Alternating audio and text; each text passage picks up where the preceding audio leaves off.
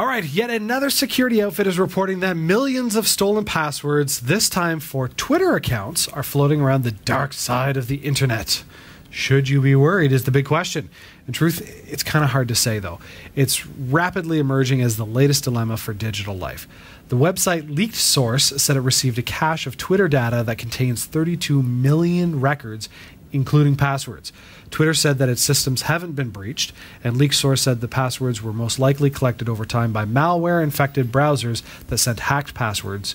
LeakedSource also sent out some information uh, today about the two most commonly used passwords. Really? Yes. The passwords. So they've aggregated all these hacked passwords. Yes. All right. Yeah. The most number one used password over 1,100 different sites. One, two, three, four, five, six. It would, that warrants a double face palm, Jeff. The, the first thought when I heard one, two, three, four, five, six is I'm picturing Spaceballs. What's your password? one, two. Uh, yeah, one, two, three, four, five, six. Now, the second most used password. This one boggles my mind. Okay. Okay. Any guesses? Jesus. No. God. No. Potato. No.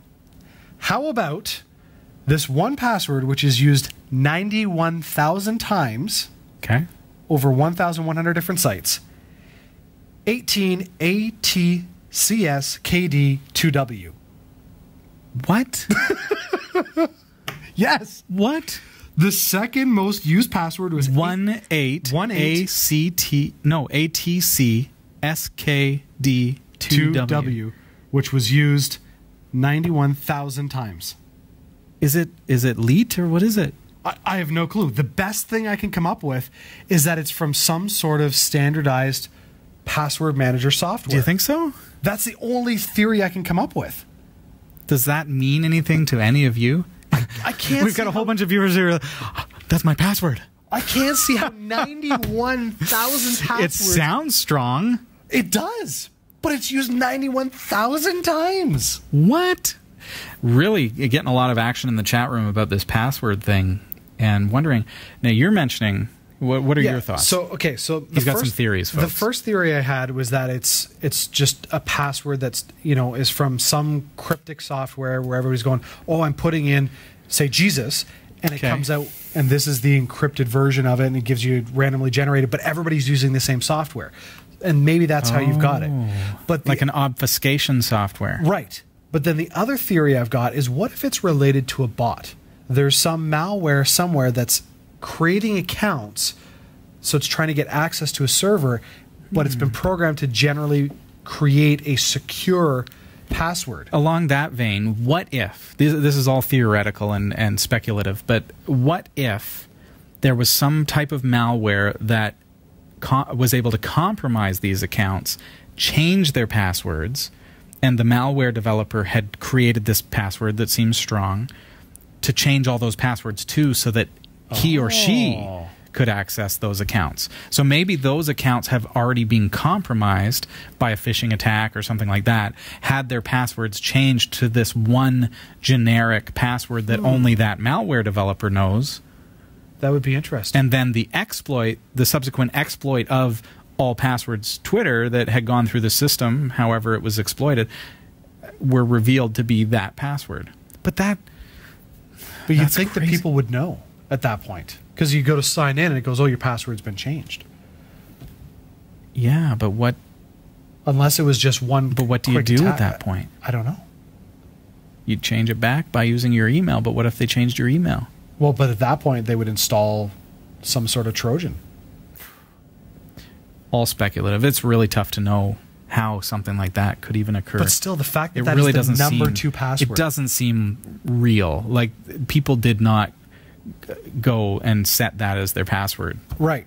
The only way I could see that is if it was some sort of password generating software that everybody used the same thing.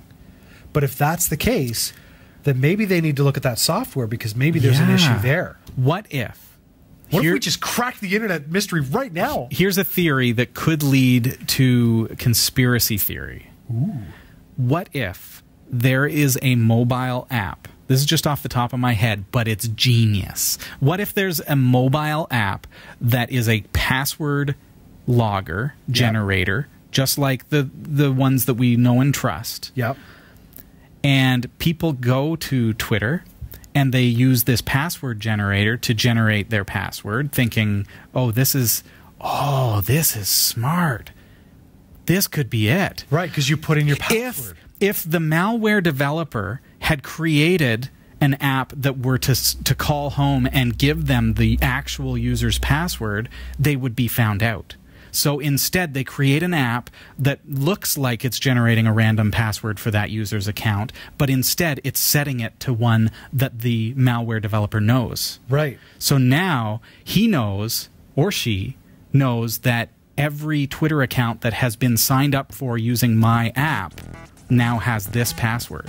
Oh, see, that would make sense. And and if it's an app on, say, their phone, it would know all the apps that they've got. It knows Yes. Facebook, all that kind of stuff. But because it's not calling home, it's instead doing the opposite. It's setting all the passwords to the exact same password.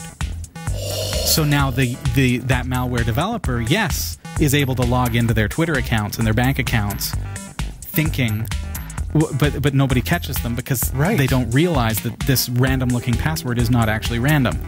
It's hard set. Wow. There you go. Could have been something like Look that. at that. What do you think? Right here on Cat 5, we just solved the issue. We burst this thing wide open, so comment below. Please share your thoughts. Do you think I'm right? Do you think I'm right? I actually think yours is probably the most plausible. That's freaking brilliant. That's amazing. Send checks, folks, because we know what we're talking about. No, I'm just kidding. that's that's You know- quite the theory, though. I gotta My say, mind is just spinning, and I'm going, I got to focus on LVM now. yeah.